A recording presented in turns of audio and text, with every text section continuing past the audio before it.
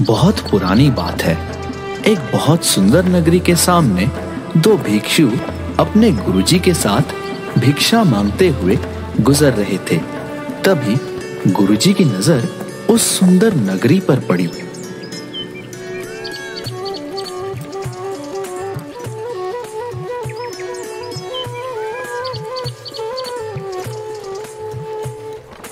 वाह वाह वाह, अति सुंदर। इस नगरी को देख के तो आँखें तृप्त हो गईं। बहुत सुंदर नगरी है। हाँ गुरुजी बिल्कुल सही कहा। बहुत सुंदर नगरी है। बस यहाँ भिक्षा भी सुंदर मिल जाए तो आनंद ही आनंद है। बिल्कुल सही फरमाया प्रेमपाल। अब बस इस नगरी में झोली भर मिठाइयाँ और पकवान मिल जाएँ, फिर तो आनंद ही आनंद है। अच्छा अच्छा ठीक है। चलो अब ध्यान से सुनो। कुछ भिक्षा में मिले तो भगवान को भोग लगे। बच्चा प्रेमपाल तुम नगरी में पूर्व दिशा की ओर जाओगे।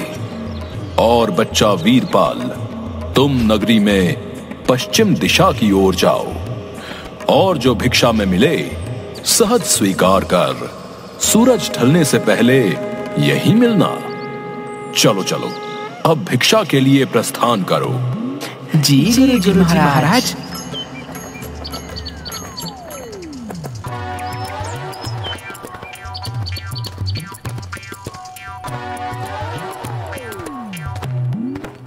अरे वाह चलो कोई तो दिखा ऐसा करता हूँ एक बार राशन का दाम पूछता हूँ। अगर सस्ता हुआ तो थोड़ा ले चलूँगा अपने साथ। गुरुजी महाराज बड़े प्रसन्न होंगे। क्यों बनिए? आटे का क्या भाव है? अरे अरे बाबा जी प्रणाम बाबा जी टके शेर बाबा जी और चावल? वो भी टके शेर। और और चीनी? चीनी क्या भाव दी? टके शेर। सब टके शेर ये सब सच है क्या? एक बार दूसरी दुकान में पूछ कर देखता हूँ उधर का क्या हाल है?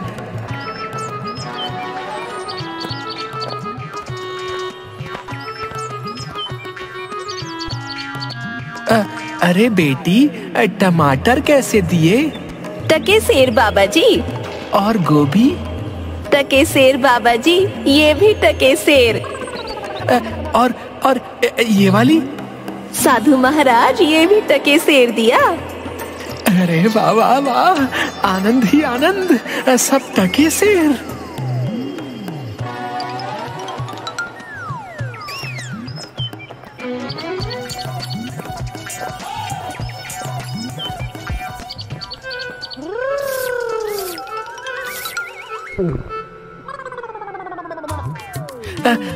भाई हलवाई मिठाई किस भाव देते हो?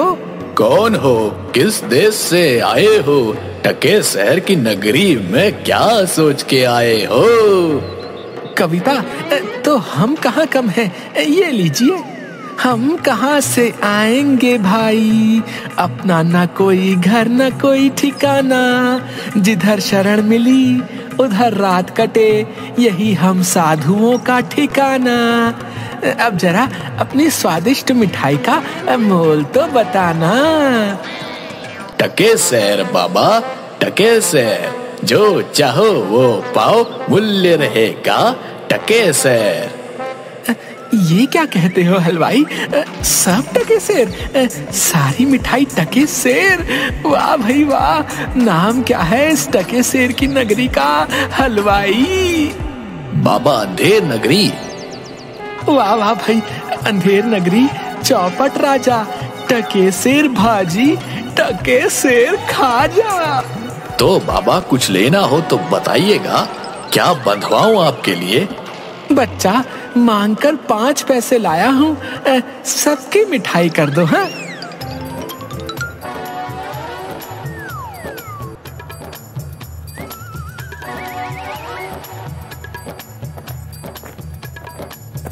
वाह वाह वाह वाह। क्या किस्मत पाई है। आज तो भिक्षा में प्रभु ने प्रसन्न कर दिया। जय हो जय हो, प्रभु, जय हो।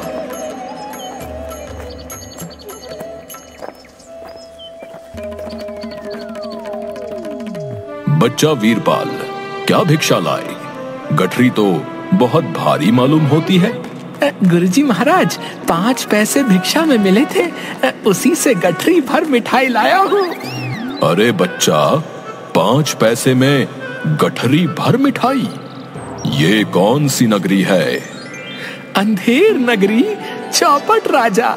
टके शेर भाजी टके शेर खाजा। अरे राम राम राम राम। राम बचाए लाखों पाए। बच्चा ऐसी नगरी में तो एक क्षण बिताना भी हमारे लिए उचित नहीं। जहाँ टके शेर भाजी और टके शेर खाजा बिकता है। गुरुजी ऐसा तो संसार भर में कोई देश नहीं है जहाँ दो पैसे पास रहने से मज़े से पेट भरता है। मैं तो इस नगरी को छोड़कर नहीं जाऊँगा हाँ। देख बच्चा पीछे पछताएगा। मैं तो इस नगरी में एक पल भी नहीं रहूँगा। देख, मेरी बात मान। पीछे पछताएगा। मैं तो जाता हूँ, पर इतना कह देता हूँ कि कभी संकट पड़े तो याद करना। देख वीरपाल, क्यों जिद करता है? जब गुरुजी ने कहा, चल तो चल यहाँ से। यहाँ रुकना उचित नहीं। अरे, जा जा, चिपको कहीं का। चिपका रहे अपने गुरुजी से। मैं तो इस नगरी में पेट भर खाऊँगा। तू भूखा भिक्षा मांग, मैं नहीं जाने वाला।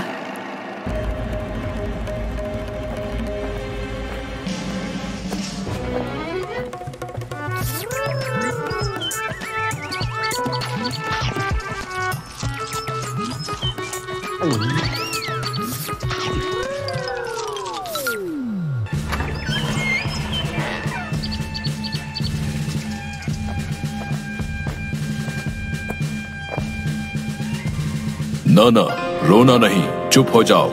बताओ बताओ क्यों रो रहे हो? महाराज कल्लू बनिए की दीवार गिर पड़ी सो मेरी बकरी उसके नीचे दब के मर गई। दुहाई है महाराज न्याय हो। बहुत बुरा हुआ। हाँ तो फिर जाओ उस कल्लू बनिए को पकड़ कर लाओ। क्यों बनिए? ये कैसी दीवार बनवाई थी जो इसकी बकरी दबकर मर गई? बता। महाराज, मेरा कुछ दोष नहीं। कारीगर ने ऐसी दीवार बनाई कि गिर पड़ी। इसमें मेरा कुछ दोष नहीं। ये तो बेकसूर है। छोड़ दो इसे। और कारीगर को पकड़ कर लाओ। हाँ सारा किया धरा उसी का है। क्यों कारीगर? इसकी बकरी क्यों मर गई? महाराज मेरा कोई कसूर नहीं। चूने वाले ने चूना ही ऐसा खराब बनाया कि दीवार गिर पड़ी। अच्छा तो ये बात है। खैर उस चूने वाले को बुलाओ। क्यों चूने वाले? तुमने कारीगर को खराब चूना क्यों दिया? बताओ। नहीं तो तुम्हारी खैर नहीं। महाराज मेरा कुछ दोष नहीं। भिश्ती ने चूने में पानी ज़्यादा डाल दिया, इसलिए चूना कमज़ोर हो गया होगा हाँ।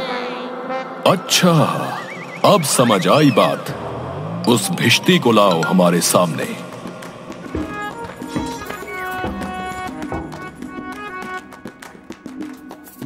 क्यों भिश्ती इतना पानी क्यों मिलाया तुमने? कि इसकी दीवार गिर पड़ी और बकरी दबकर मर गई? महाराज गुलाम का कोई कसूर नहीं। कसाई ने मशक ही इतनी बड़ी बना दी थी कि उसमें पानी ज़्यादा आ गया।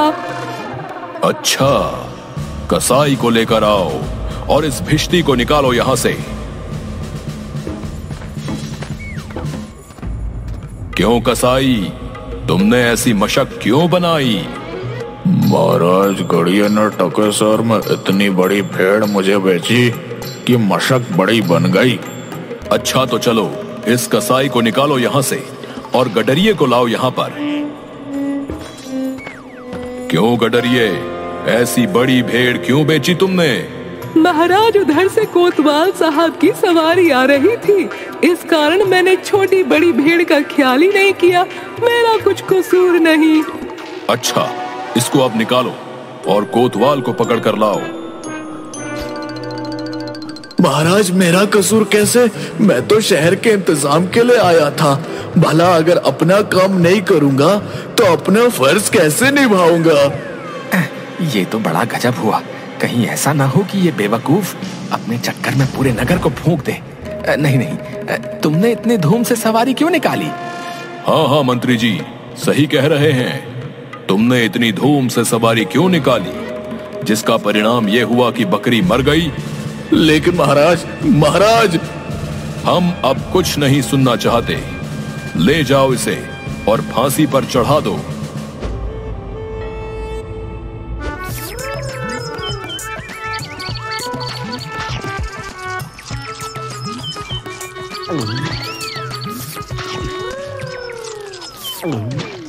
गुरुजी भी ना मुझे इस खूबसूरत नगरी से जाने को बोल रहे थे।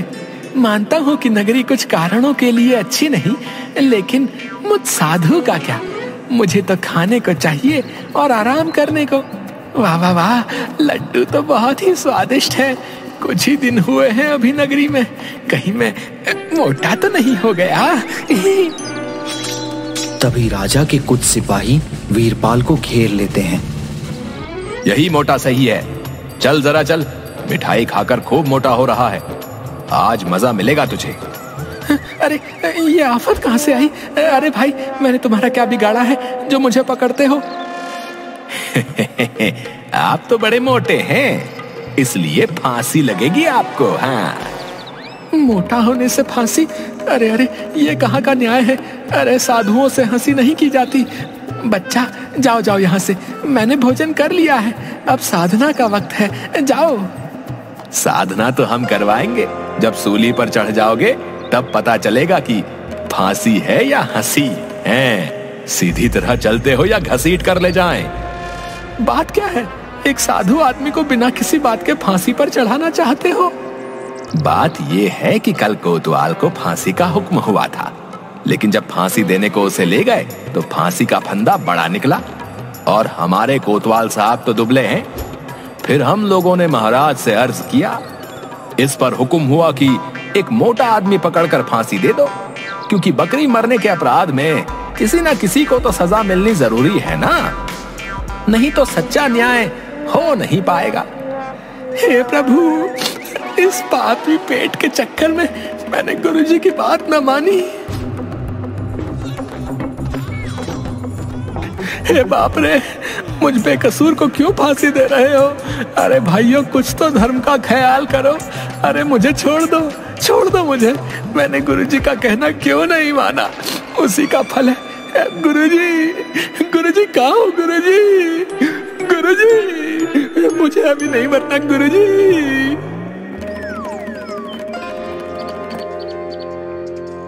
अरे बच्चा वीरपाल, तेरी ये क्या दशा है? गुरुजी दीवार के नीचे बकरी दब गई। इसके लिए मुझे फांसी दी जा रही है गुरुजी। बचाइए मुझे गुरुजी। अरे बच्चा अरे अरे मैंने तो तुझसे पहले ही कहा था ऐसे नगर में रहना ठीक नहीं लेकिन तूने मेरी बात नहीं मानी। मैंने आपका कहा नहीं माना उसी का फल मिल रहा है मुझे। बचाइए गुरुजी बचाइए। देख बच्चा डर मत। सुनो सब मुझे अपने शिष्य को अंतिम उपदेश देना है। तुम लोग जरा किनारे हो जाओ। इसके बाद तुम जो कर रहे थे वो कर लेना। अब हटो पीछे। महाराज हम पीछे हट जाते हैं। आप बेशक उपदेश दे सकते हैं।